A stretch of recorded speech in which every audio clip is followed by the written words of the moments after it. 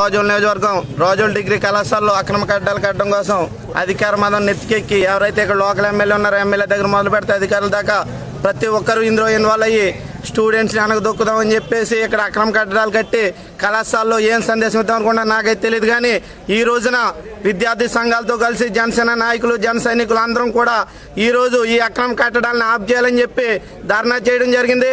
ఇప్పటికైనా ప్రభుత్వం వెనక తగ్గి ఏ విషయంలో వెనక తగ్గకపోతే కనుక రాబోయే రోజుల్లో దీన్ని ఇంకా ఉధృతంగా ముందుకు తీసుకెళ్ళి దీక్ష కూడా వెనకాడడం ఇంత ఉధృతం ఎలా అయితే ఉందో దానికి మించి రెండింతలు ఎక్కువగా ముందుకు సాగుతామని చెప్పి తెలియజేస్తున్నాం. హెచ్చరిస్తున్నాం. ఇక్కడున్న లోకల్ ఎమ్మెల్యే గారు ఒకసారి సమస్యల మీద పోరాడండి. సమస్యల మీద ఏంటి విషయం ఏంటో కలుసుకొని తప్ప సమస్యల్ని సృష్టించొద్దని చెప్పి తెలియజేస్తున్నాం.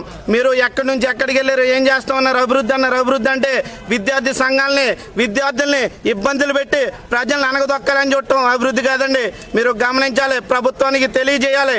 మీరే ఏ విధంగా ప్రవర్తిస్తే ప్రభుత్వాలు ఇంకే విధంగా ఉంటాయని చెప్పి హెచ్చరిస్తున్నాం. విద్యా సంఘాలతో కలిసి ఈరోజు ధర్నా చేసాం దీన్ని మరింత ఉధృతం చేస్తాం. వెనకడికి వేయకపోతే అని చెప్పి తెలియజేస్తూ సెలవు తీసుకున్నా భరత్ మాతాకి! భరత్ మాతాకి!